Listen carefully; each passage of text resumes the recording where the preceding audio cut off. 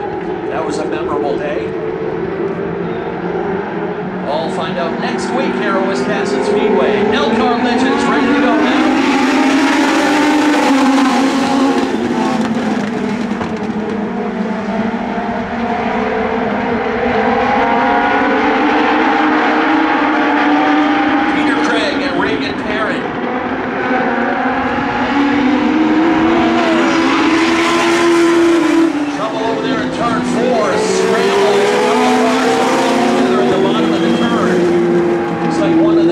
我一个女友